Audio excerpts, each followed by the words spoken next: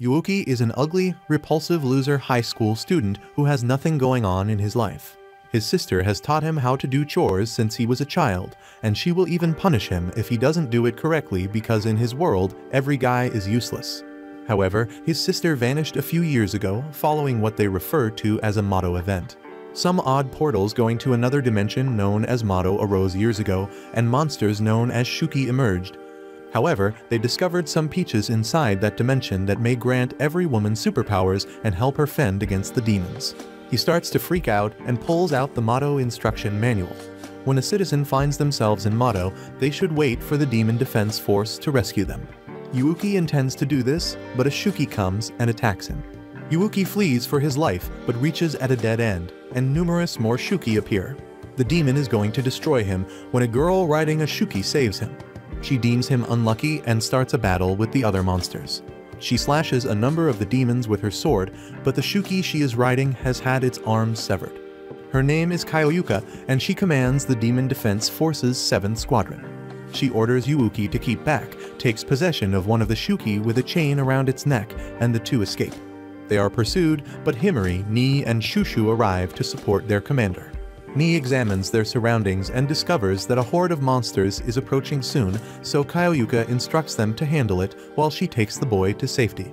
The sisters quickly handle business, with Himari transforming her hand into a rifle to shoot the demons and Shushu growing into a gigantic. Yuuki had only heard whispers about the Demon Defense Force, so seeing them in action today fascinates him.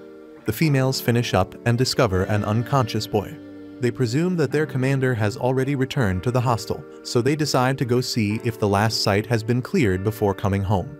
However, the little kid awakens and begins looking around for his sister. Elsewhere, we see that Kaioyuka has not returned yet, and they come across the little boy's sister. She's going to tumble off a cliff, but Kaioyuka saves her. However, Kaioyuka's Shuki slave is far too sluggish, so they must abandon it, and she begins fighting the demons.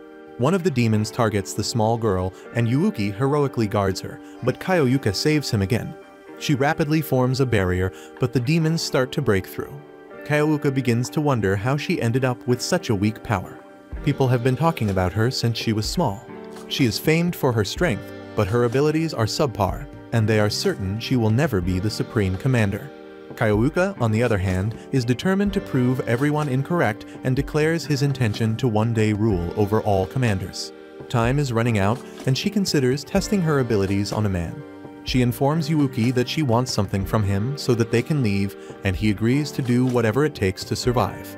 Kaioyuka informs him that he will be her slave and instructs the small girl to close her eyes. Kaioyuka then adds that with her expertise, Yuuki's power will be increased, and they may have a chance to escape alive. Yuuki cannot believe she wants him to combat the demons, yet Kaioyuka mistreats him. She then tells him it's time to bow down, and she extends her finger to him. For some weird reason, he transforms into a dog and licks it. Suddenly, he unleashes a massive surge of power, transforming into this wish-made monster. The other girls enter, surprised to learn that their commander has converted him into her slave. Yuuki chops through a demon, and things have turned out far better than Kaioyuka could have anticipated. Kaioyuka mounts him, and Yuuki begins ripping all of the demons to pieces. Kaioyuka is astounded by how quick he is. Kaioyuka reunites the younger siblings, but everyone is surprised as the demons combine to form a massive demon. She instructs him to crush the monster, and Yuuki avoids all of its assaults and trims the top of the demon's body. The monster explodes, and Kaioyuka loses her power, returning Yuuki to his ugly and loser self. She admits that she never imagined an average loser could develop into such a beast. She intends to make him her slave, but first she needs to finish using her abilities. She kisses his face and calls him a pervert. She goes on to explain that every time she utilizes her talent, she is required to reward the slave, and the payment must be equal to the job her slave performs each time he completes a chore. Yuuki cannot believe his reward is a kiss. Kaioyuka claims he worked hard out there and promises to give him another one. Yuuki freaks out and Kaioyuka admits that she wasn't expecting the situation either. When the Shuki were her slaves, all they sought was slices of pork as a reward. But Yuuki is a horrible pervert, and she discloses that her body responds involuntarily in these situations regardless of how she feels about them. It's the price she has to pay for her ability, so she lands another kiss on him. Kaioyuka suddenly becomes serious, stating that if even one of the Shuki appeared in the actual world, there would be dozens of casualties. Her ambition is to become Supreme Commander and eradicate the horrible beasts for good. The present Supreme Commander is a failure and far too lenient. But with Yuuki's assistance, she is confident that she will achieve her aim. However, Yuuki admits that he is solely confident in his ability to maintain a house tidy. That isn't a problem because she now needs a housekeeper. Yuuki thinks he's doomed in the real world, so he chooses to be a hero in Mato and exact revenge for his sister's death. They then proceed to the Demon Defense military dorm, where he prepares to join the military. However, Kaioyuka introduces him as the caretaker. She says that he will be her slave during battle, but he is the girl's caretaker in the dorm. Yuuki is unhappy since he thought he was going to join the Demon Defense Force, but Kaioyuka explains that men are not permitted to join. The girls don't waste time telling him to complete chores. Yuuki can't keep up, but Ni, the only decent one among them, assures him that everything will be fine. The others quickly remind out that the small girl is his superior and he should not disobey her. After a few days of work, Yuuki begins to believe that being a caretaker is worthless. He expresses his fears about performing chores all day, but Kaioyuka assures him that she would utilize him in battle as needed. She tells him to focus on housekeeping until then, and when he stands up for himself, Himari threatens to cut off his head. Kaioyuka understands that the others may be uncomfortable with a male caretaker, but Yuuki is good at cleaning and is also essential to her abilities. She requests that they all be courteous to him and warns him not to worry because she will rip off his manhood if he does anything wrong. That night, Shushu, who had shrunk to a midget, caught Yuuki spying on one of the females and threatened to inform the commander. Shushu says that her power allows her to expand and shrink and she snaps an incriminating photo. She was inquisitive about Yuuki and has been keeping a careful eye on him. Yuuki tries to explain that he is only cleaning, but she isn't interested in any of his excuses. She wants him to be her slave, but he attempts to explain that he already is. Shushu pushes him to tidy her room, and his attempt to remove the image fails. She tells him to clean her laundry as well, but this only gives her another opportunity to shoot a deceptive photo. While Yuuki is walking about, depressed about being bullied, he notices Kaioyuka and Himari practicing outside. Just then, a Shuki enters and Kaioyuka takes advantage of the chance to show Himari how to do it. She destroys the beast, surprising Yuuki and astounding Himari. Yuuki can't believe she insta killed it, and he realizes he'll never be on her bad side. Ni informs that she will be departing with Himari for a meeting, leaving him with Shushu to protect the dorm. That night, Shushu forces him to massage her and discloses that she grew up without a father. She came to Mato seeking excitement, even if it meant jeopardizing her life. The two decide to play some video games, but Yuuki warns her that he is quite talented. They make a little bet, but he loses each game and eventually loses his clothes. Just then, a massive Shuki comes and attacks the base's barrier, forcing the two to run outside. Shushu demonstrates her immense size by effortlessly grabbing the creature and smashing it into the ground. Shushu then sends it soaring, only to punch it down and smash it under her feet. Shushu shrinks slightly, as being that big is tiresome. She celebrates her win, but another massive blob of a creature attacks her. A slew of Shuki fused with it to make it even bigger, and Shushu attempted to use her ability to expand even further, but it failed. The monster grabs her and delivers a punch. Yuuki can only watch the gigantic creature gain the upper hand. Yuuki desires he could morph, but this is impossible without Kaioyuka.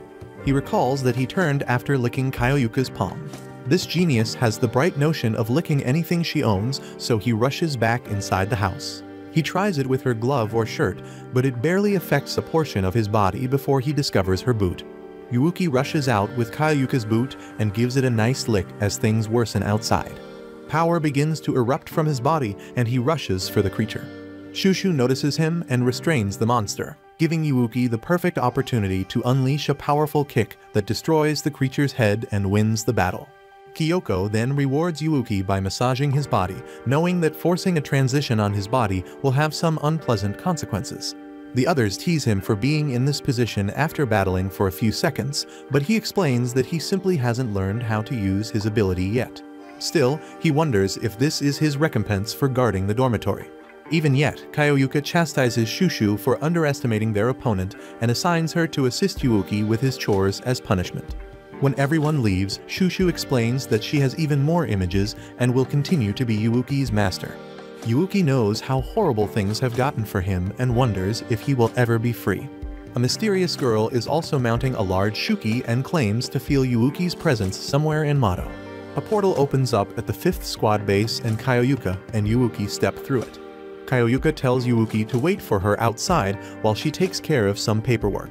While waiting, Yuuki is surprised by how much time they saved using interdimensional travel. Kaioyuka meets him outside, and he can't help but admire her since she's not wearing her uniform anymore. She catches him staring, and he quickly changes the topic. He's happy they are back in their home world, and Kaioyuka tells him to enjoy it while it lasts. They leave the base, and Yuuki goes back to admiring Kaioyuka again. She tells him to keep his eyes on the road, and he asks her where they are going. She just turns and keeps walking, leaving Yuuki standing there, unsure of his next move. Meanwhile, Shushu is looking for Yuuki around the house. She asks Nii about his whereabouts, and she tells her he went out with Kaioyuka earlier that day.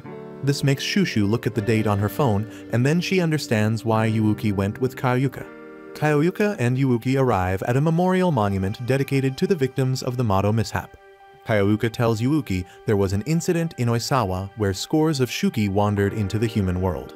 There was one particularly strong Shuki, and she remembered the day very clearly. Fire is raising the town as the huge Shuki chases and crushes its inhabitants. Kaioyuka remembered the Shuki had a single horn that really stuck out on its head. This made her name the creature Unihorn. She thought all the Shuki who crossed over that day were destroyed by the Demon Defense Force who came to their aid. But when she looked through the records, she found out the Unihorn managed to escape back through the gateway to Mato. She tells Yuuki she has a score to settle with that particular Shuki since it's still alive. She tells him to be prepared for when that day comes because she's going to make mincemeat out of him. She promises to avenge everyone who lost their lives on the day of the incident. She lays down her flower in the gravestone and then kneels to pay her respects. They leave the memorial ground and Kaioyuka tells Yuuki it's time they return to Mato. Yuuki steps her outside a cafe and asks her if they can take a break. He did some research on the cafe and he found out it's famous for its parfaits. Kaioyuka tries to convince him that the job comes first, but he pulls up the cafe's catalog and shows her their parfait. It wins her over and she tells Yuuki they can make a short stop. They enter the cafe and take a seat. Kaioyuka tells Yuuki she's concerned about Mato, and he tells her he also lost his sister at the Mato mishap, so he understands how she feels. He tells her she will miss her chance to get revenge if she doesn't take care of herself properly. He tells her to take a break once in a while to cool off some steam. She gives in to his persuasion as their order arrives. She decides to give it a try, and she absolutely loves it. She takes another spoon with a smile which reminds Yuuki of his sister. He remembers when he gave her a recipe suggestion and she loved the outcome. She hugged Yuuki, commending for being a smart cook, and gave his new recipe a thumbs up of approval. She tells him to keep it up because boys are defined by their kitchen skills. Kaioyuka asks him if he won't be eating, and this snaps him back to the present. He takes a few reflexive scoops and he testifies of the goodness of the cafe's parfait. Suddenly, the conch shell horn blows once through Kaioyuka's phone. This signifies an emergency from Mato. If the conch shell horn goes off just once it means the emergency isn't life-threatening. Regardless, Kaioyuka tells Yuuki they need to head back immediately because something is definitely up. Yuuki uses his ability to give Kaioyuka a ride back to their base in no time. Yuuki is burned out from the ride and Kaioyuka tells him she's going to change back into her uniform. She asks him for his help and he gladly provides it. She puts on her uniform and they both go into the main room. Kaioyuka asks for a situation report and Mei tells her about the discoveries that were made during patrol. Some crater-like formations appeared some kilometers to the south along with a large number of Shuki. Mei uses her recon ability to project the location of the discovery on a tab placed on the table. There were a lot of red dots around the location, indicating the number of Shuki that appeared.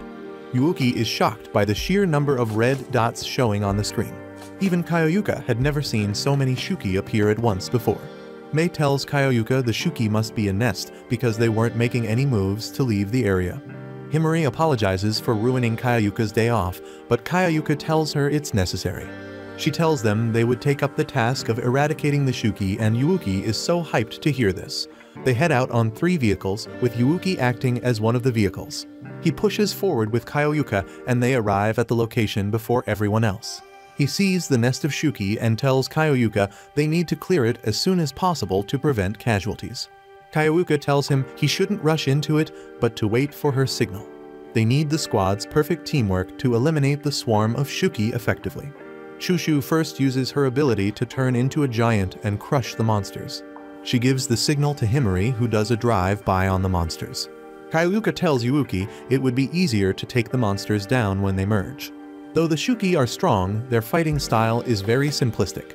Kaioyuka was convinced they would be able to take them down with their strategy when the monsters reached peak size.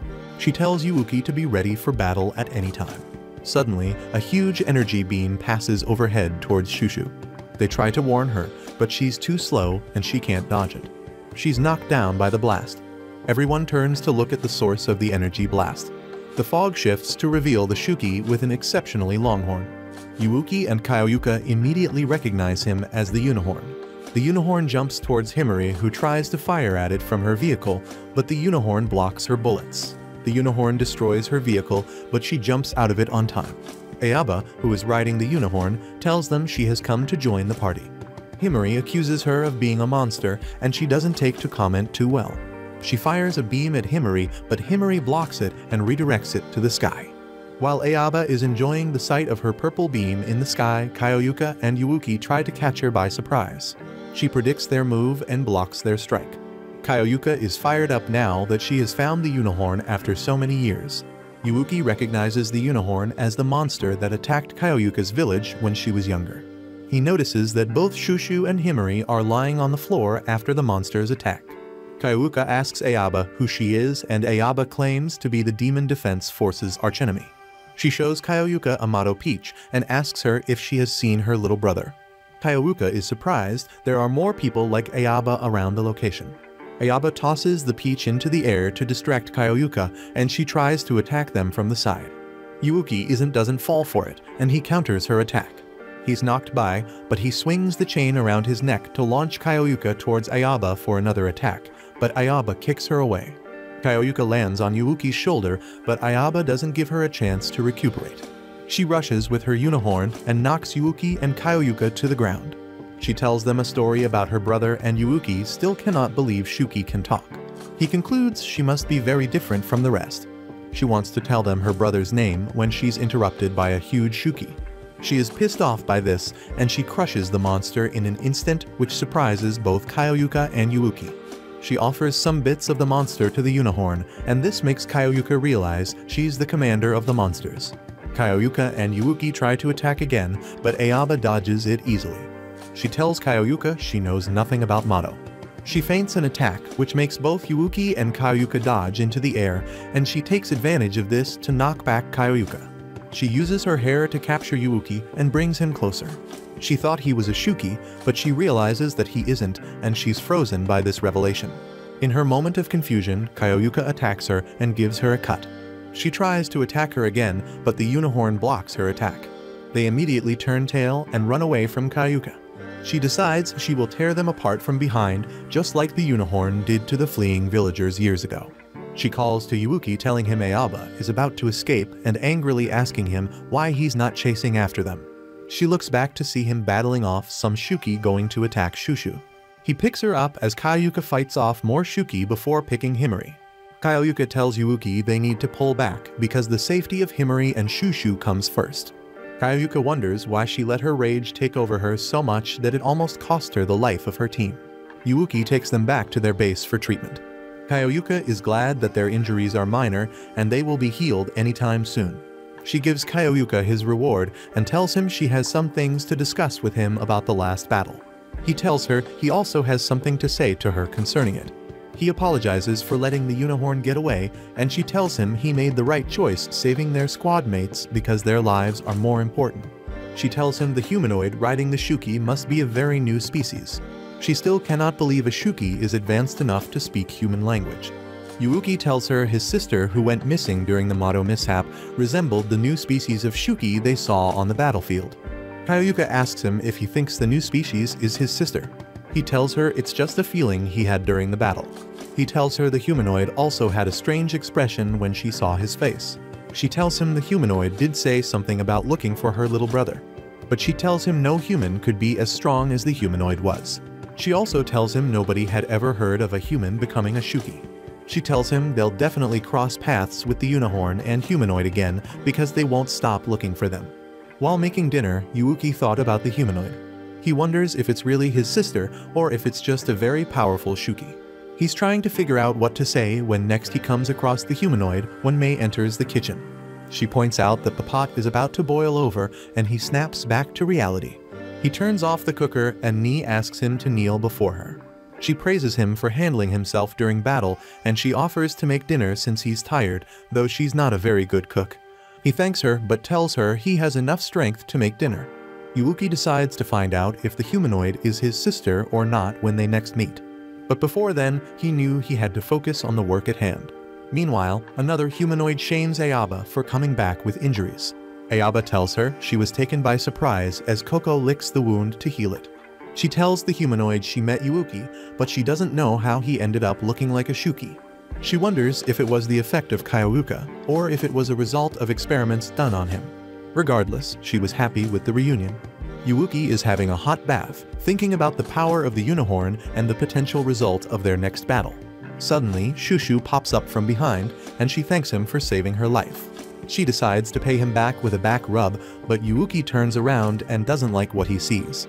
He rushes out of the bathroom only to run into trouble with Himari. She chases him around the base and corners him. Suddenly, a portal opens and two women step through. Yuuki thinks they are intruders, but Himari tells him they are members of the 6th Squad. Izumo is the commander of the 6th Squad, and Azuma is the second in command. Izumo asks Yuuki to fetch Kyoryuka as Himari, and Azuma exchange unpleasant glances. Kyoryuka asks her why Tenka visited them, and she tells her the squadrons will cooperate because of the appearance of a humanoid Shuki. Yachiho makes fun of Himari for fainting during the attack and tells her to forget about being a soldier and go back home. Kyoryuka notices Himari is fuming, and she tells Tenka there's a need to test each of their teams. She asks for an exhibition match between their squads. Yuuki thinks the exhibition match is some kind of baseball league, but Mei explains it to him. The exhibition match is a contest of strength and skill between two squadrons. Kyoryuka proposes single combat between members of the squads and Tenka accepts it. A portal opens up, and they leave the squad base. Himari asks Kyoryuka to train her in preparation for the match.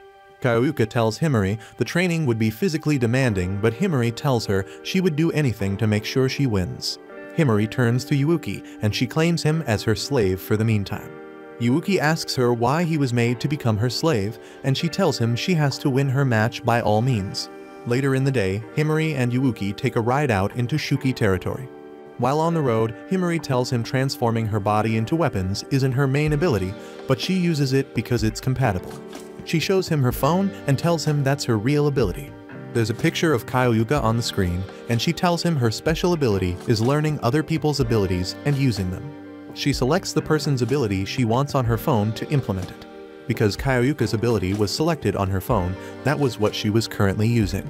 Yuuki asks her if she knows the risks of using Kyoryuka's skills. She tells him she knows it would be physically demanding, and she's ready for that. Suddenly, the ground breaks up and some Shuki appear in front of them. They get out of the car, and she extends her hand out to Yuuki.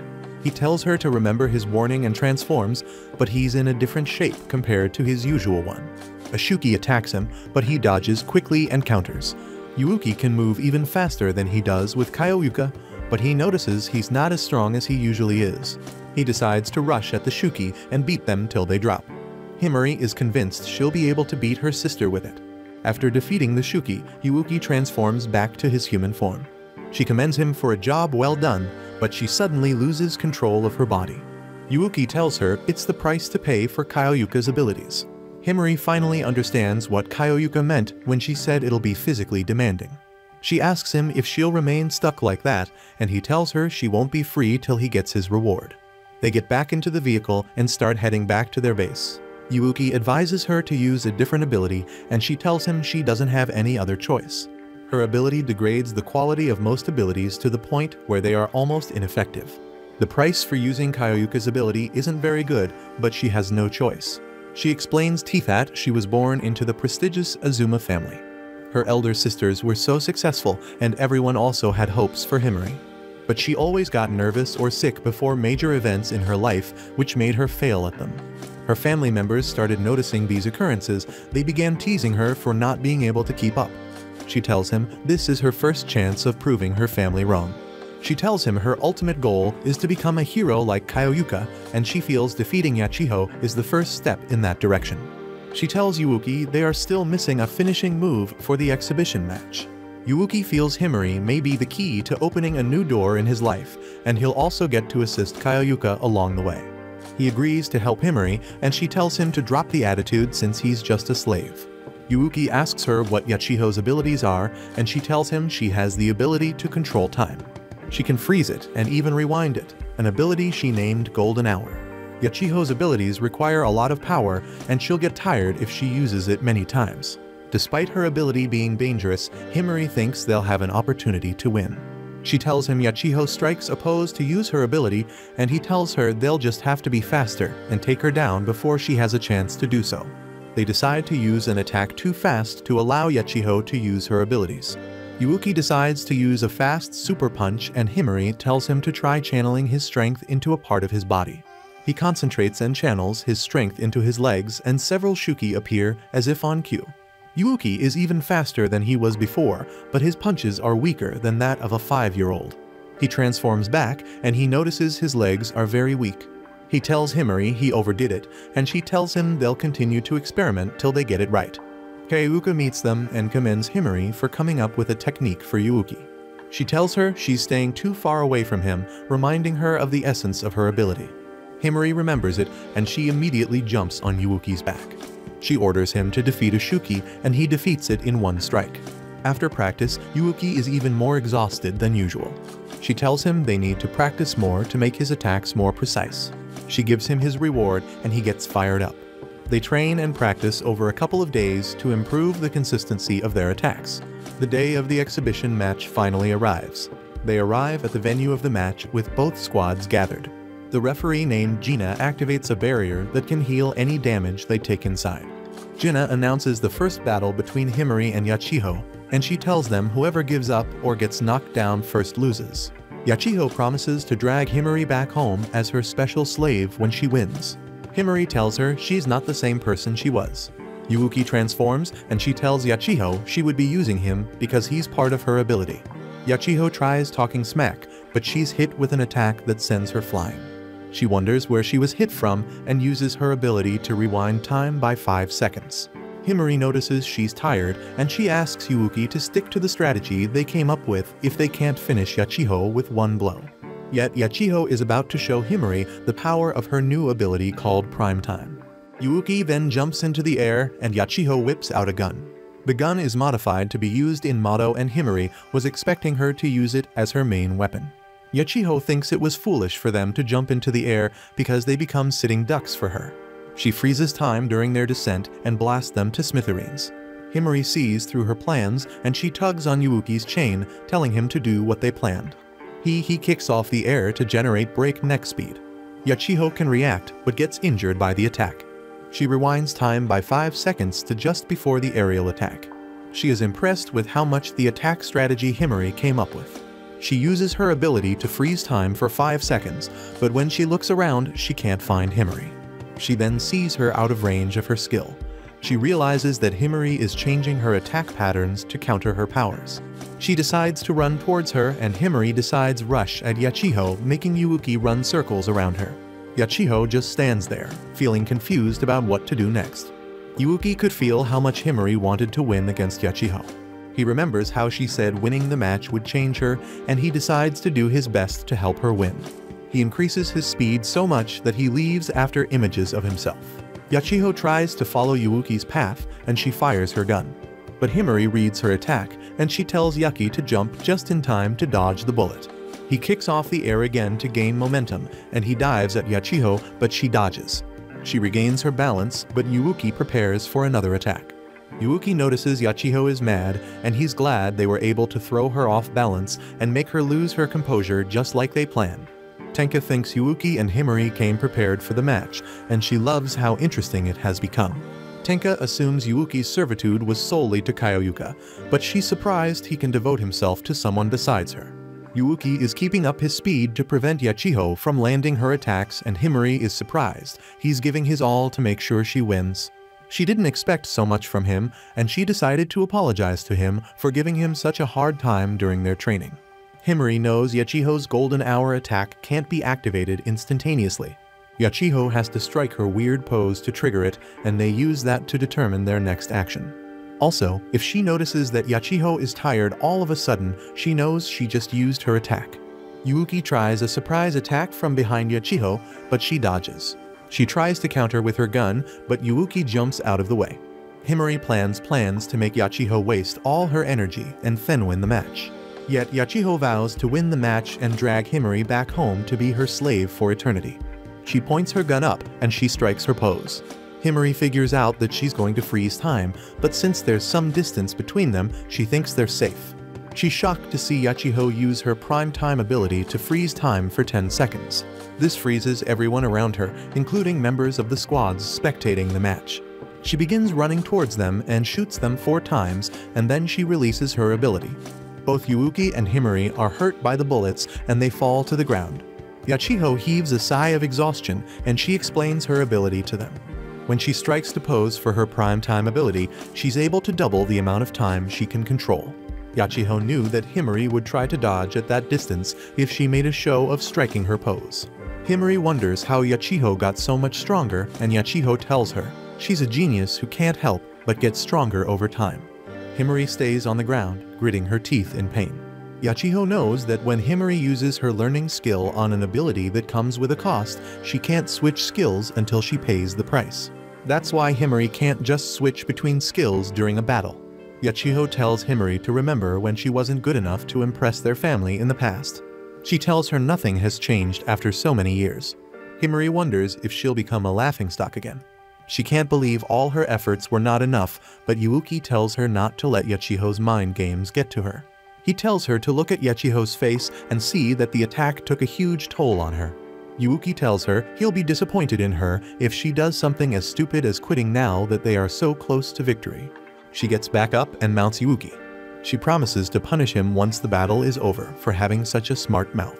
Yachiho tells Himari to give up and not embarrass her commander, but Himari tells her staying strong and fighting to the end isn't considered an embarrassment in their squad.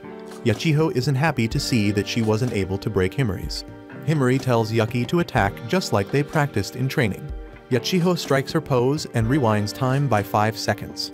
She raises her gun to shoot, but she can't see Himari because Yuuki's behind is very dark. She fires behind Yuuki, thinking Himari will be there, but her ability releases and she gets hit on her neck. Yachiho is surprised when she looks down to see that Himari just shot her. She tells her she didn't think Himari was that desperate for the win, and she and Yuuki both collapse. Jinna declares Himari the winner of the match, and the other members of the 7th Squadron commend her and Yuuki for winning. Kayuka figures out that they used the flash and smoke from Yuuki's transformation to blind Yachiho. She silently commends them. Sahara is surprised Yachiho lost, but Tenka tells her it's an opportunity for Yachiho to learn from her mistakes. Everyone is worried about Yuuki, but Kayayuka tells them there's no need to worry. Yuuki wakes up to see he's being healed by Jinna. She tells him she's able to heal him because he sustained the injuries in her barrier. Jinna heals Yachiho, and she opens her eyes to see Yuuki and Himari celebrating their victory. She remembers when they were little and Himari caught a cold before her entrance exams because she overworked herself. Yachiho tells Himari she has gotten much stronger and she'll treat her better henceforth. She asks Himari if she wants to rejoin the Azuma family and Himari is surprised by her question. She tells Yachiho she belongs in the 7th Squadron. Yuuki and Himari walk back to their base. Yuuki is about to get something to drink when Himari stops him to give him his reward. The 6th Squadron goes back to their quarters and Tenka begins a review of Yachiho's battle. She tells her that Yuuki was probably holding back his attack and that her decision-making during the match was poor. Tenka is impressed with how much Yuuki pushed to ensure Himari was victorious. She thinks he's exactly what a slave should be. Himari tells Yuuki he was the reason she was able to defeat her sister. She thanks him for helping her, and she tells him she's not just thanking him because it's his reward, but because she means it. She begins giving him his reward and Yuuki gets uncomfortable and pulls away. She tells him she has no choice because she has to give him his reward and she continues. Yuuki can't believe how soft her lips are. He asks her if she's sure she made the right decision not to return home. She tells him that Kailuka helped her when things were tough so she'll stick by her side. She continues giving him his reward and Yuuki feels like he's on his way to heaven. Shushu is outside the door and now understands why they said Kailuka's skill is physically demanding. The preparations for the next match are about to begin and Yachiho apologizes to Sahara for losing her match. Meanwhile, some menacing figures are gathered somewhere in Mato watching them silently. Jinna announces that Shushu will be going against Sahara. They both specialize in hand-to-hand -hand combat and Jinna was sure the battle was going to be intense. Shushu tells Yuuki to watch how she'll pummel Sahara like the Hulk, smashing a piece of watermelon. She hopes to get a piece of that pie after the match. She turns back to wink at him. Since they both love close combat, Shushu proposes they hold off their abilities till later. Sahara immediately rushes at Shushu with a furious flying kick, but Shushu catches her mid-air and slam her on the ground. She tries to land an elbow drop on Sahara, but she dodges away and Shushu hurts her elbow. Sahara grabs Shushu from behind and she lands a perfect German suplex. Shushu gets back on her feet, but Sahara is already exhausted. She thinks the match has gone long enough and she decides to use her abilities. Shushu is surprised she opted to use them so early, so she decides to use hers as well. Shushu increases in size while Sahara increases her strength for 3 minutes. Shushu tries to squash her, but she jumps out of the way and she counters by landing a huge smack on her. Sahara's ability only allows her to increase her strength for a specified number of minutes. She can activate it for a minimum time of 1 minute and a maximum of 60 minutes. The shorter the duration, the stronger she gets, but the ability has a 3-minute cooldown period. Shushu decides to stomp Sahara, but Sahara gets out of range and she pushes Shushu's ankle. Sahara tells Shushu her size makes it easy for her to dodge her attacks and it makes her an easy target. She throws several rocks at Shushu, and while Shushu is distracted by the rocks, she launches a surprise attack. She lands a body punch that sends Shushu to the ground. Sahara asks her if she's ready to give up yet, but Shushu refuses. Shushu remembers when her friends told her having a boyfriend was fun. Back then, Shushu was skeptical about having a boyfriend. Her first friend told her there was never a boring moment when she was around her boyfriend. Shushu told them she wasn't interested in romance because she wanted something more exciting.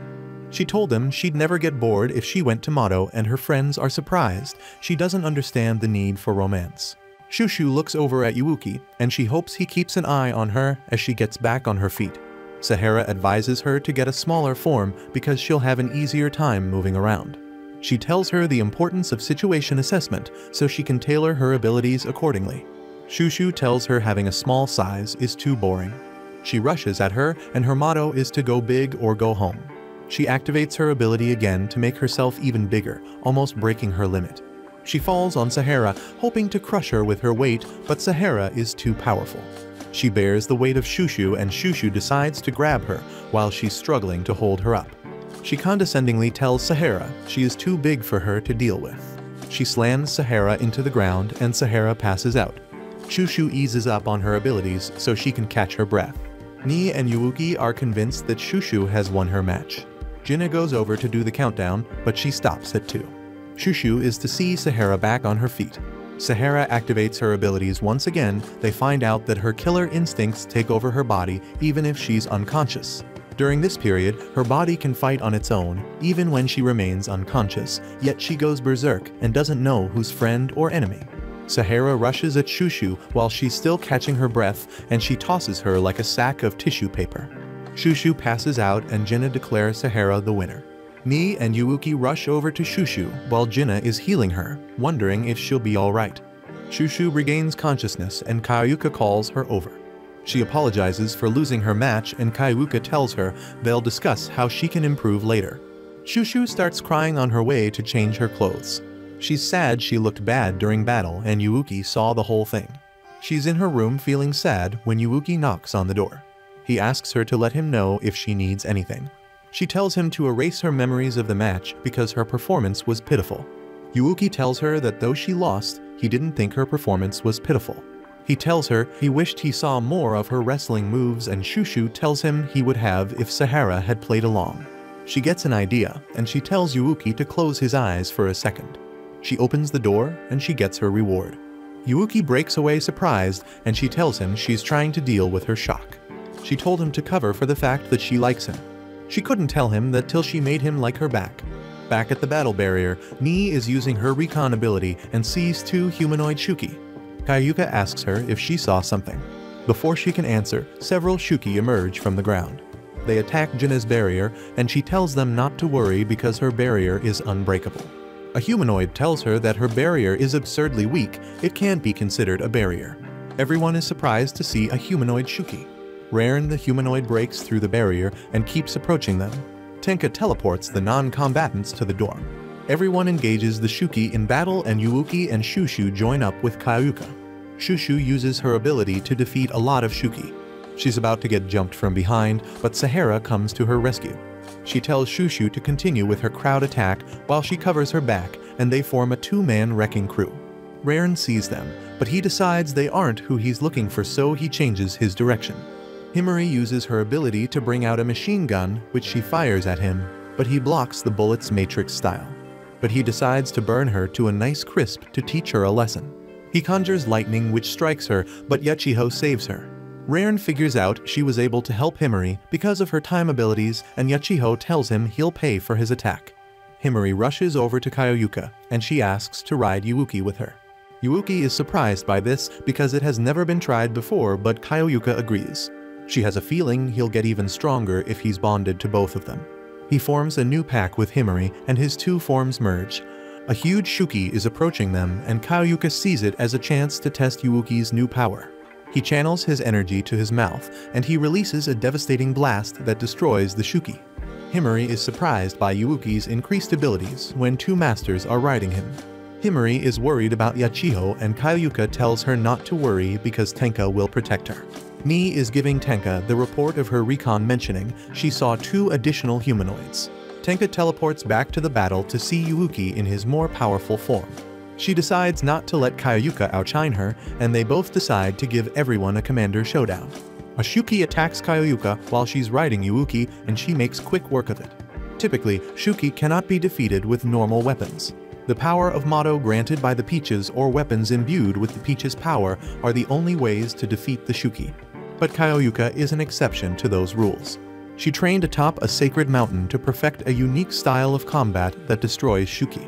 She was able to gain the ability to destroy Shuki without relying on her peach power, and that was how she was able to become the commander of a squadron.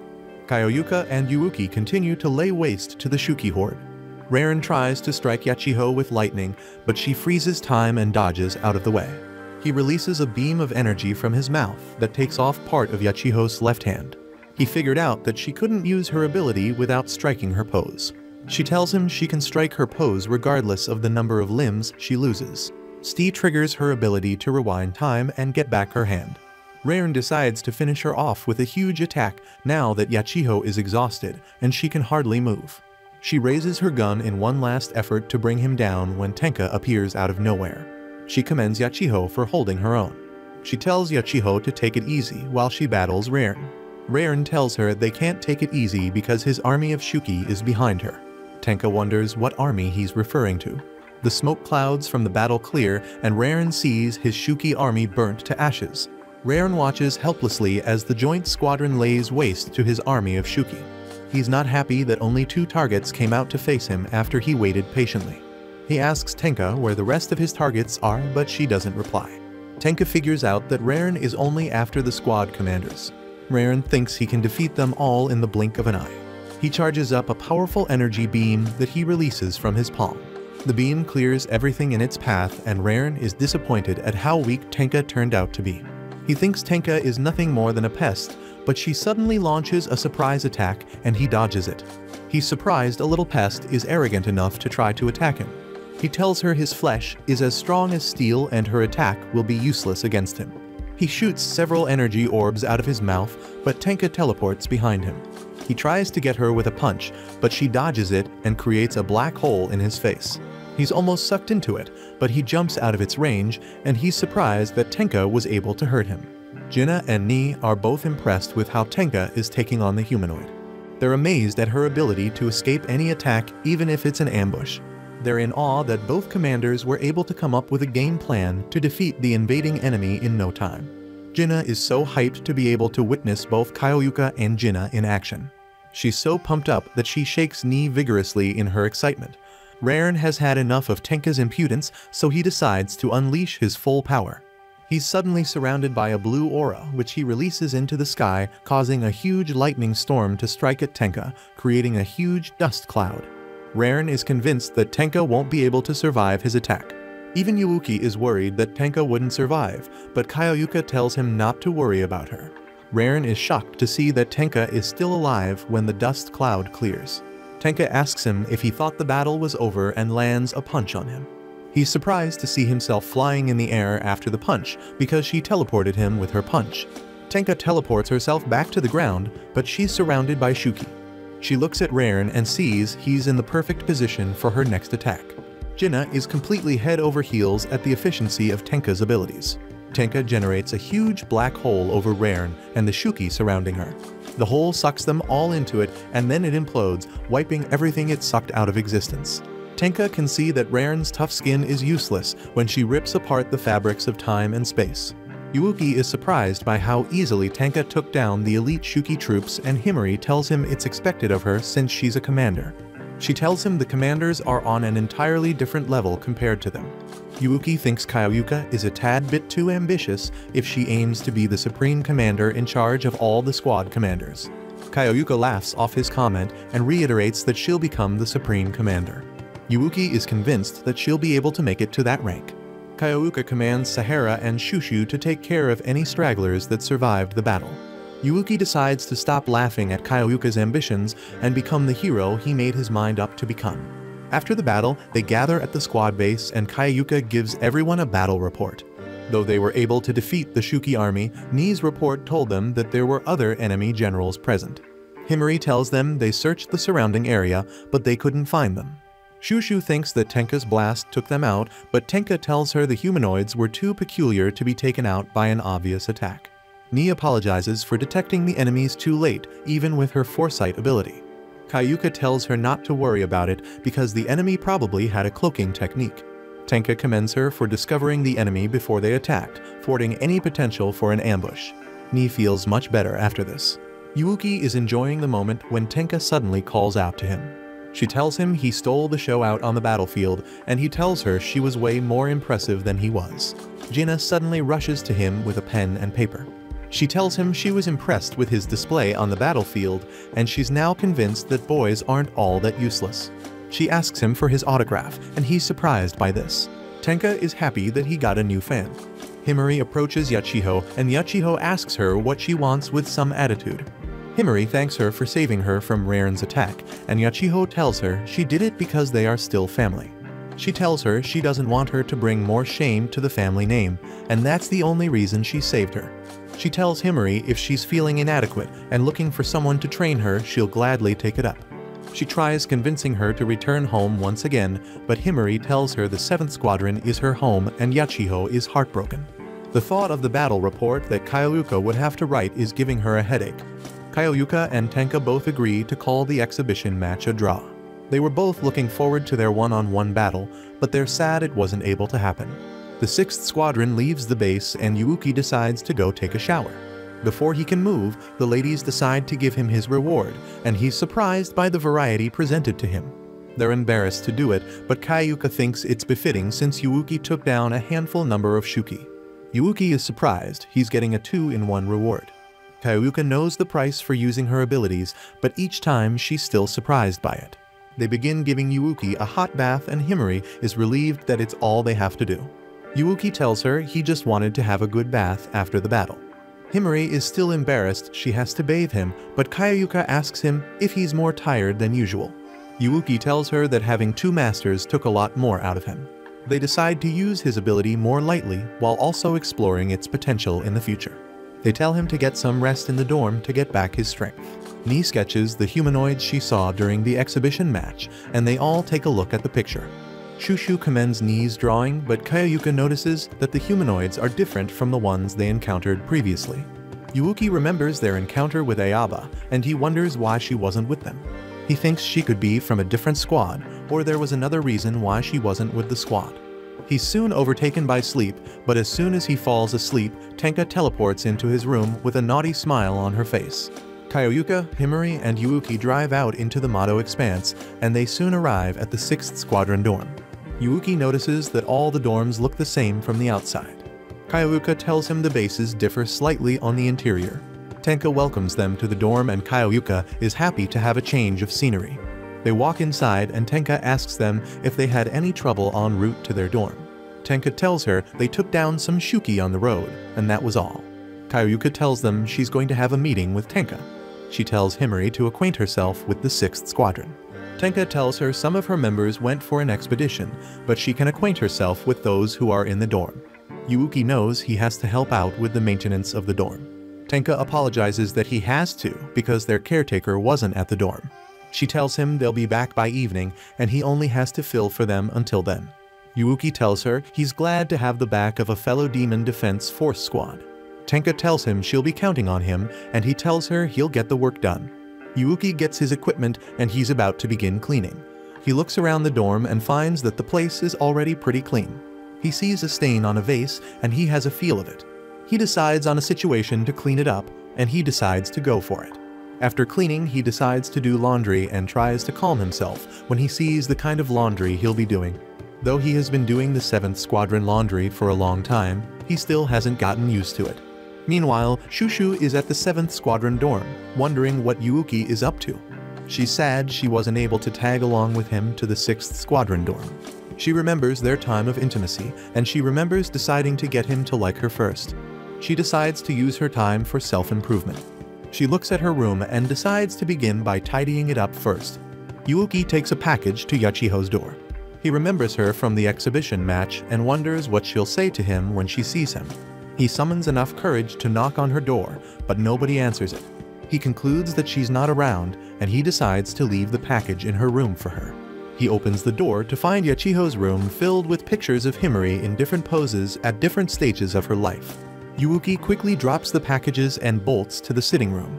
He finds Sahara lying on the couch, and he wonders why she's asleep in the sitting room with such minimal clothing. He decides to cover her with a blanket so she doesn't catch a code, but she uses him as her blanket. He tries to break out of her grip before someone sees him in such acts, but he can't get out of it. He remembers that Sahara is a pro wrestler, and his chances of breaking out of her grip are slim to none. The more he tried to break out, the tighter she held on to him. Eventually, he saw that he couldn't break out and he gave in to his fate. Sahara wakes up and apologizes to Yuuki. They walk down the corridor to find Himari standing at the door to a room. She tells them she's waiting for Yachiho to finish her workout so she can speak to her. She asks Sahara if Yachiho always works out like this and Sahara tells her she does. Himari is surprised that Yachiho is pushing herself even harder than she normally does. Sahara asks her if she looks up to Yachiho and Himari tells her that though Yachiho has a terrible personality, she would like to be like her academically and athletically.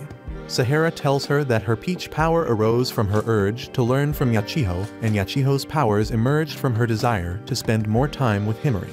Himari tells her that her analogy is a huge stretch, but Sahara tells her she should talk to Yachiho more often. Yuuki agrees with her and Himari is finally convinced. She takes a face towel and walks to Yachiho on her workout bench. She presents the towel to her, but she takes it without a word of thanks and a friendly exchange of words begins. Sahara and Yuuki are relieved to see them getting along better with each other. Sahara suggests that they would get along more if they showed Himari Yachiho's room, but Yuuki tells her it's a bad idea. During their meeting, Kaioyuka tells Tenka they should make the first move and track down the humanoid Shuki since there have been no signs of them since the last attack. Kaioyuka tells her of a crater where they encountered a group of Shuki and the first humanoids. She tells her they should start up their investigation from there. Tenka agrees with her and tells her she's curious about the number of humanoids. She's certain of four humanoids, but Kaioyuka tells her she eliminated one of the four. Tenka tells her she's not sure she eliminated Raren. The humanoids are gathered in their relaxation spot, and Raren suddenly walks in with a grimace on his face.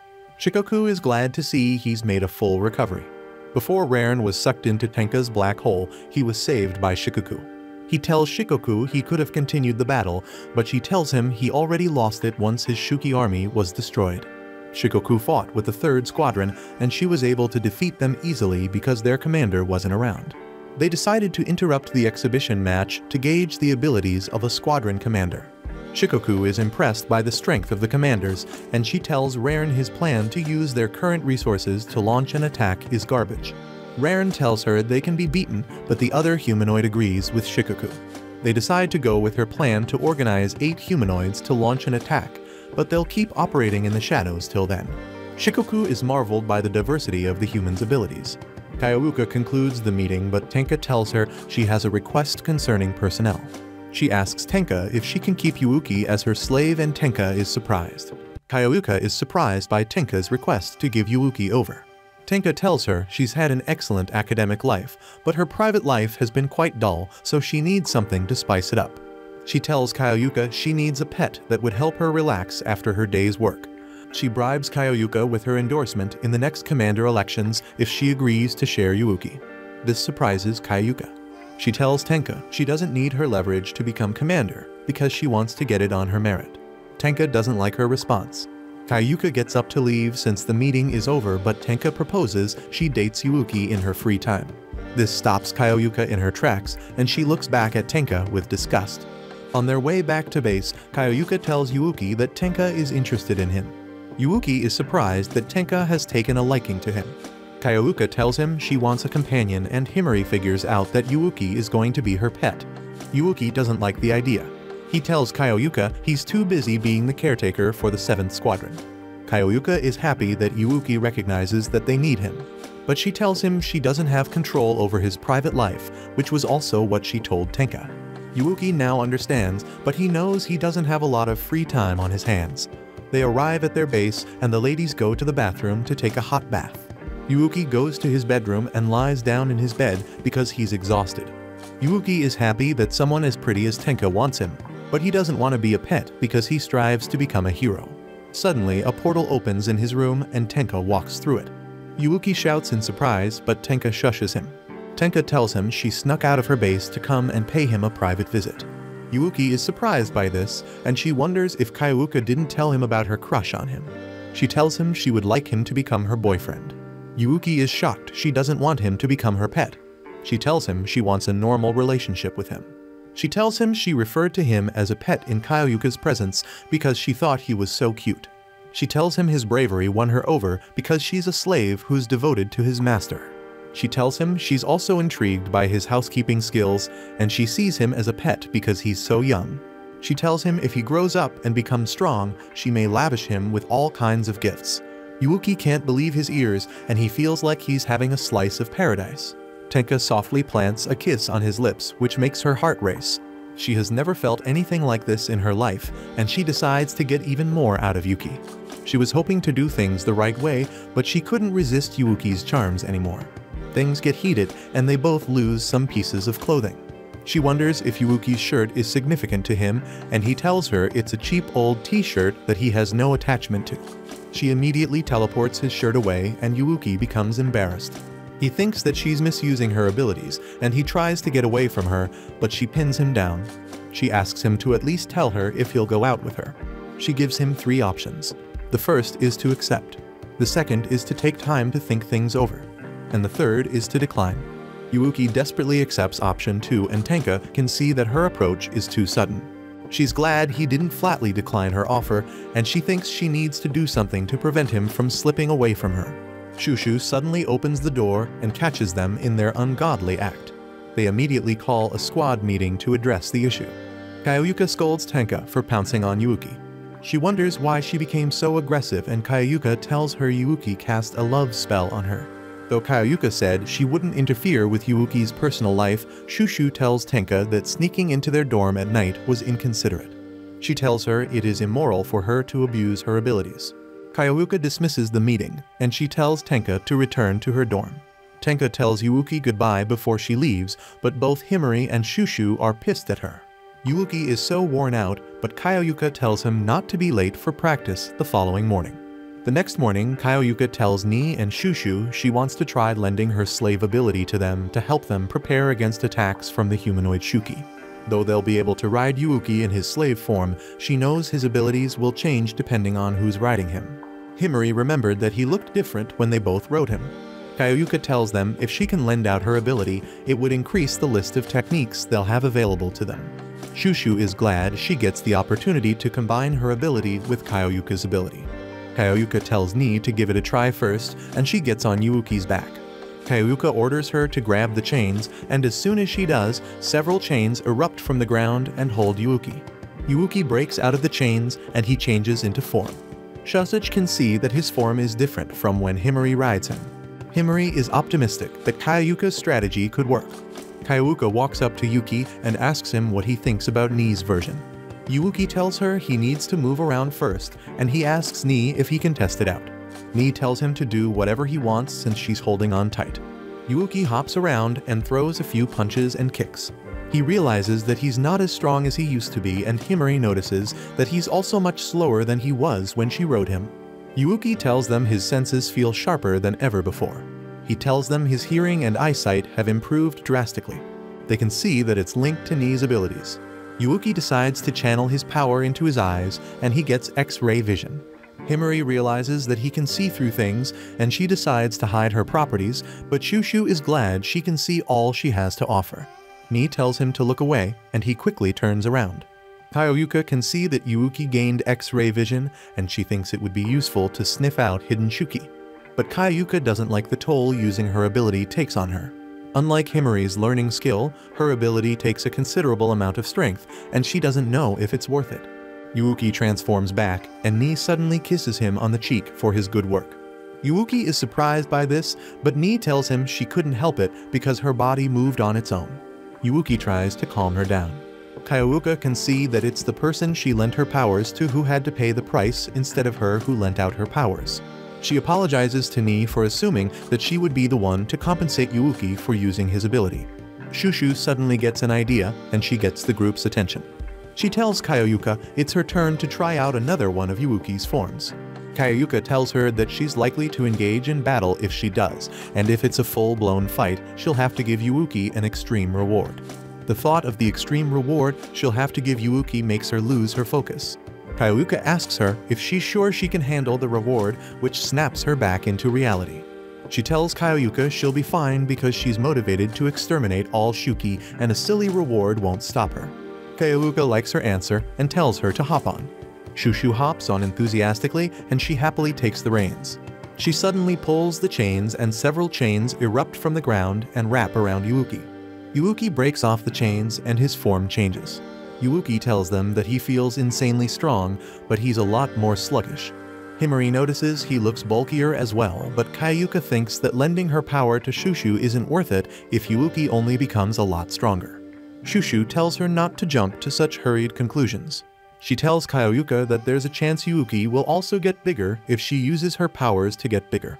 Yuuki wonders if that's true and Shushu tells him to have some faith. She uses her powers, but she ends up crushing Yuuki under her weight. She tends to his wounds after, bummed out that she didn't get to give him a proper reward. Kaioyuka tells her they won't be using her version of Yuuki's slave abilities in battle anytime soon. Yuuki asks Kaioyuka if she'll be alright with using her abilities so much, and she tells him she'll have to get used to it. She tells him they'll prioritize using his abilities with Ni as his rider. Suddenly, the alarm goes off and Kaioyuka tells her it's time for her to go to school. Ni decides to quickly change her clothes and head to school. Yuuki watches her leave, wondering why she decided to join the Demon Defense Force in the first place. Ni is about to leave and Kaioyuka tells her to be careful. Yuuki offers to walk her to school because he wants to talk to her and Kaioyuka permits him. She gives him an exit pass and tells him to get to know Ni better since she's his superior. Ni apologizes for taking his time, but he tells her not to worry about it. They walk through a portal and they're teleported out of the base. As they're walking, Ni shows Yuuki around. She figures out that he wants to know why she joined the Demon Defense Academy. Yuuki thinks it must be tough for her to handle both going to school and working for the Demon Defense Force. She tells him it's not so bad because she doesn't go to school every day and the Demon Defense Force is a worthwhile cause to join because she hopes to find her parents. Her parents suddenly went missing in the past, and all evidence pointed to a Mato mishap. Yuuki realizes that she also lost her family. She tells him that there have been rumors of people getting calls from or catching glimpses of their relatives that vanished in Mato mishaps. Yuuki tells her he has heard such stories before.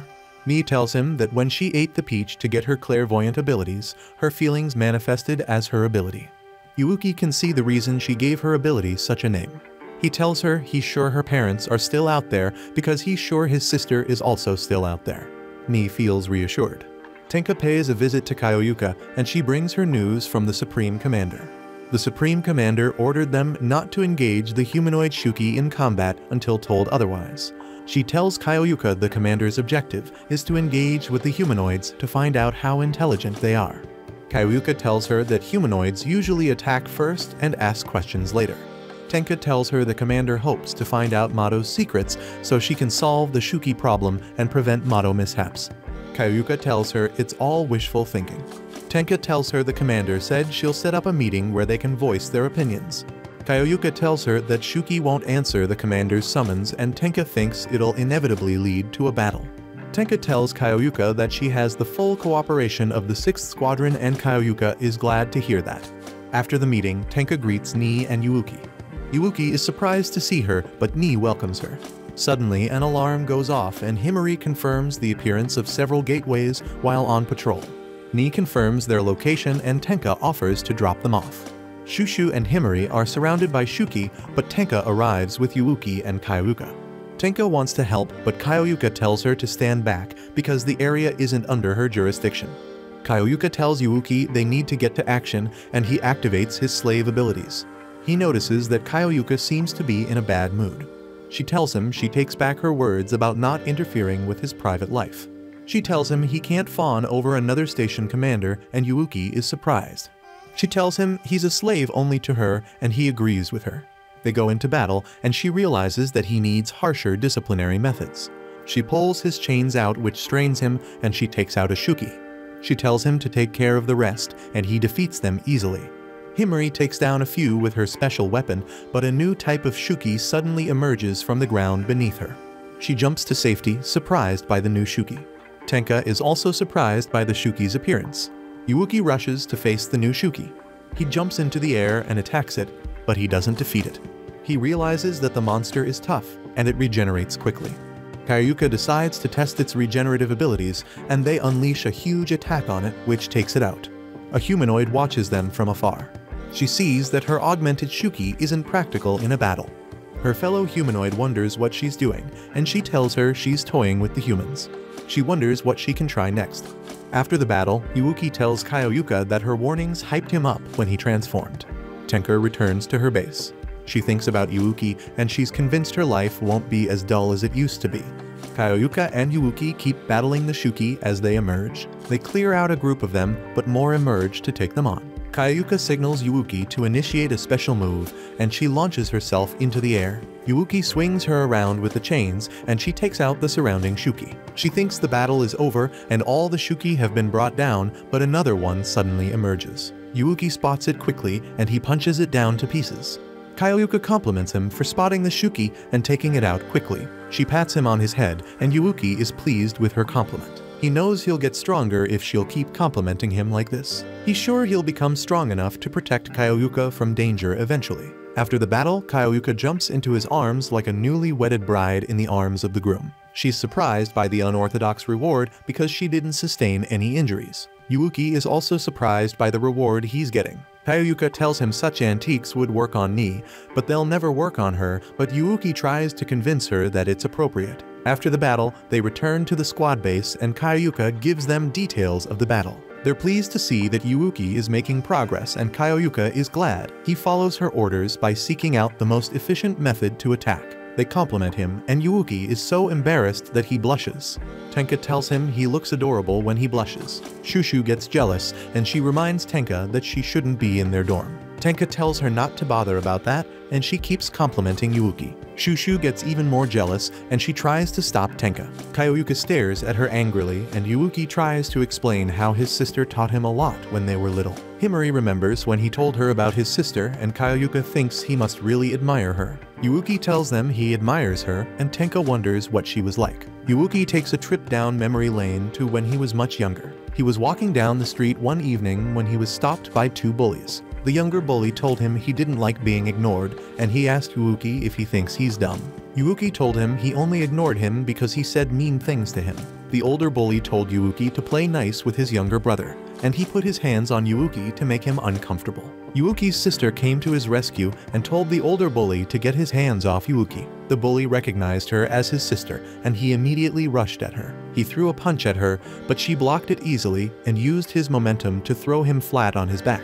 While she stood triumphantly over the older bully, the younger bully tried to make a move on Yuuki, but Yuuki overpowered him. His sister thought he was in danger, but he told her he learnt some things from her while they were practicing wrestling moves. She was so proud to see that he wasn't a wimp. The bullies ran away with embarrassment, and his sister told him their triumph was worth celebrating. She told him she would treat him to a snack, and they went for some ramen. He tells them that was just how his sister was, and Tenka thinks she was a good sister to him. Kaioyuka realizes that she was teaching him how to fight, and he didn't even realize it. Himari could relate with being the younger sibling and having a more powerful older sibling. Kaioyuka tells Yuuki to take the rest of the evening off, and he decides to take a bath before getting some sleep. She tells Tenka to return to her base, and Tenka opens a portal to her base. She tells Yuuki goodbye, and she leaves the squad base. Everyone turns to Yuuki after she leaves, and he takes that as a cue to leave the room. Ni was feeling jealous with all the talk of older siblings and Kaioyuka tells her she didn't have siblings either. Shushu confesses that she was spoiled by everyone in her family because she was the youngest. Himari now understands why she behaves the way she does. Ni suddenly detects that someone is in danger, and she informs Kaioyuka of the location. Kaioyuka rallies Himari and Shushu, and they head out to the location with their vehicle. A little girl is running from a group of Shuki, but they arrive in time to help her. Himari starts firing the gun mounted on the vehicle, and she takes out the Shuki. She runs up to the girl and offers to help her up, but the girl suddenly lands a hard punch on her gut, which sends her flying. The girl turns out to be a humanoid named Coco, and she's glad to have caught some Demon Defense Corps members. Shushu realizes she's a humanoid and Coco gets ready to go into battle with them. Shushu helps Himari up and Himari reveals she blocked the humanoid's attack with her shield in time. The humanoid summons several Shuki. Himari calls Coco by her name and Coco is surprised by this. She wonders how Shushu knows her name and Shushu reminds her that she literally said her name after punching her. She tells Coco their supreme leader is willing to negotiate and she asks her if she'll comply. Coco tells her to dream on and she promises to crush them all. Meanwhile, Yuuki is taking a hot bath and he notices the cuts and bruises he got from fighting a lot of Shuki. He looks at his form in the mirror and he's happy with his gains. Kaioyuka suddenly opens the door on him and she informs him that they are under attack. She tells him he needs to transform and he's surprised she wants him to transform without any clothes on. She tells him there's no time because Himari and Shushu are in danger. Himari tries firing her machine gun at the animal Shuki summoned by Coco, but the bullets are useless against it. Coco tells her the animal has tough armor and Himari decides to summon a bigger gun. She tells Coco she can adapt as well and she fires a huge energy beam from the gun. Coco dodges it and launches an attack against her, but she cancels her ability in time and dodges out of the way. Coco is enjoying the battle and she continues figuring Himari. Shushu stomps out the other Shuki and she decides to help out Himari, but a little Shuki comes flying out of nowhere. Shushu squashes it with her hands, but Shuki breaks her grip and a humanoid holding a weapon comes out of the insect. The humanoid attacks Shushu with her spear and Shushu is fatally wounded. Yuuki is rushing to the scene as fast as possible, but a humanoid blocks his path. Kaioyuka and Yuuki recognize her as Ayaba, the humanoid they fought previously. Ayaba eats something to make her hair grow out, and she's about to use them to attack Yuuki. Kaioyuka commands him to dodge it, but Ayaba tells him to stop moving, and he obeys Ayaba. Kaioyuka gets off his back, and the hair traps Yuuki. Ayaba then summons Shuki, but Kaioyuka takes them out. She looks around and she realizes that Ayaba and Yuuki have vanished. Shushu and Himari rendezvous with her, and she tells them Yuuki was captured. Kaioyuka figures out that Yuuki was the target for the humanoids and Himari now understands why the humanoids suddenly retreated. Kaioyuka is worried about Yuuki, but she tells them they need to head back to base and treat their wounds. She wants them to take a breather and regroup. Yuuki remembers the day his sister went missing while he's asleep. He wakes up calling out to a name, but he feels a pleasant sensation on his face. He sees Coco sitting on him and licking his face. He tries to push her off, but another humanoid holds him down. Coco explains that she's healing up his wounds and Yuuki remembers he was captured. He's uncomfortable, but he remembers when Ayaba called his name during the battle, and he figures out that she's his sister. He tries to speak out, but Coco tells him to stop moving so she can be thorough with her cleaning. Yuuki doesn't like being violated like that. Ayaba suddenly enters the room wondering if Yuuki is awake, but she sees Coco in a suspicious position with him. She immediately takes Coco off him, pissed that she stripped him naked, but the other humanoid explains that it's a misunderstanding. She tells Ayaba Yuuki was naked when his transformation reversed and Coco was just trying to heal his wounds. Coco tells him she tried to heal all his wounds because he is her brother and Yuuki realizes that all his wounds are gone. Coco explains that her saliva has medicinal properties and Ayaba thanks her for healing Yuuki's injuries. Yuuki is now sure that Ayaba is his sister and she comes up to hug him because she hadn't seen him for a while. He's so happy to see that she has been alive all this time that he sheds tears of joy. The humanoids are also happy the siblings are now reunited. Yuuki wonders why Ayaba doesn't look normal, and she reminds him that he's the one not wearing clothes. She hands him some clothes and tells him they need to go for a walk so she can explain everything to him. Yuuki gets dressed and they head out. Yuuki is amazed by the view and Ayaba tells him the place is called the Hidden Village. She tells him there are no peach trees in the location so the Demon Defense Force can't come poking around there. Yuuki sees some children waving at them, and he's surprised there are more people who look like Ayaba in the village. Ayaba tells him that many people who were formerly humans now call the village home. Coco and Neon introduce themselves to Yuuki. Yuuki wonders if Shuki were also once humans, but Ayaba tells him they are just monsters. They explain that humanoids are special cases because they are half humans and half monsters. Ayaba tells him they ended up like that by accident, but their goals remain humane. She tells Yuuki he can live with her in the village and he doesn't have to worry about being treated like a slave. Yuuki tries to convince her that she doesn't need to hide since they're still humans. He tells her the Demon Defense Force will be able to protect them. Their demeanor immediately changes and Ayaba tells him they can't go to the Demon Defense Force for help because they are enemies. Ayaba is pissed that they enslaved Yuuki, and she tells him they can't be allies because of the hierarchy in the Demon Defense Force. Neon tells him a battle between the two sides is inevitable. Yuuki is surprised by how they went from being so friendly to becoming completely hostile. Back at the 7th Squad base, Himari tends to Shushu's injuries. She's put on bandages on her arm, and she tells her she would be fine since the cut wasn't very deep.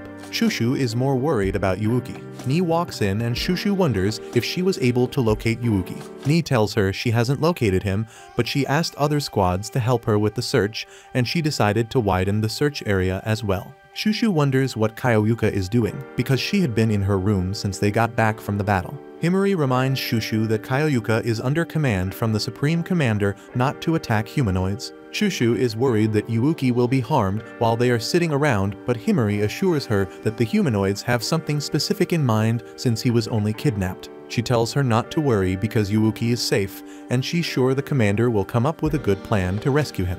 Kaioyuka remembers Yuuki obeying Ayaba's command, and she vows to scold him when he comes back. She suddenly gets a signal from somewhere within Mato. Yuuki asks Ayaba how she knew he was in Mato, and she tells him she sensed his presence. Yuuki is surprised she can do that, but she reminds it's her job to always know where he is. She confesses that Yuuki is all grown up now, and he looks very handsome. The others agree with her and Ayaba is so happy. Yuuki's stomach suddenly growls and Ayaba decides to get him something to eat. Yuuki apologizes to the others for his sister's unorthodox ways, but they tell him everyone loves her even with her flaws. Coco begins eating a mushroom and Yuuki loves the aroma it gives off. Coco tells him the Mato mushroom is grown in the village and Yuuki begins to wonder what ingredients he can pair it with, but he suddenly enters a state of ecstasy. He sees Neon as a pair of meatballs that Ayaba served him, and he decides to take a bite. Ayaba comes back with some field rations she swiped from some Demon Defense Force members, but she sees Yuuki having a feast of his own. Kaioyuka comes out of her room and tells the group to prepare to head out. They figure out that she has found Yuuki. Kaioyuka tells them her body began moving automatically, which means Yuuki's transformation was broken. She realizes she can be a walking radar for Yuuki since she needs to give him his reward. Yuuki apologizes to Ayaba for his actions, but Ayaba is just glad to have him sitting next to her again. Yuuki recognizes the Mato peach in Ayaba's hand, and he remembers she hadn't eaten any before they were separated. He thought her abilities were derived from the peach, and she tells him there's a connection between her ability and the peach. She tells him the peach is the reason for their looks and Yuuki is interested in her story. Back at the 7th squad base, Kaioyuka tells Ni to stay back and keep in contact with HQ. The 6th squad members come through a portal and both squads move out as a united front. Watch this next video. See you on the next one.